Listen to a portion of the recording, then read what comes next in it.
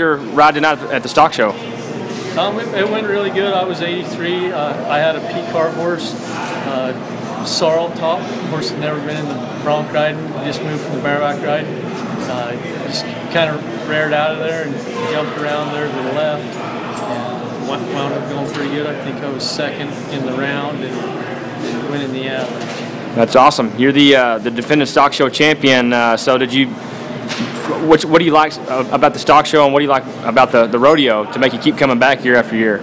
Um, you know, I just like coming down and going to Fort Worth because of the, you know, they got good money, the hospitality's good. Uh, they try to put together some good horses, and you know, some are better than others, and hopefully you got one of the good ones. And it's went good last year, and hopefully I can just let it roll on to this year. Awesome. So you think you make it back to the short round and got a pretty good um, chance?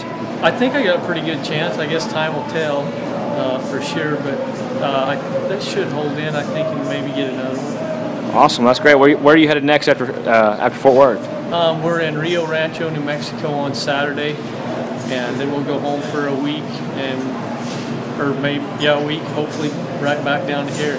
So a lot of traveling then, huh? Lots of travel. Lots of miles. well, we wish you the best of luck and, and thanks a lot for taking the time. Well, Appreciate it. Me.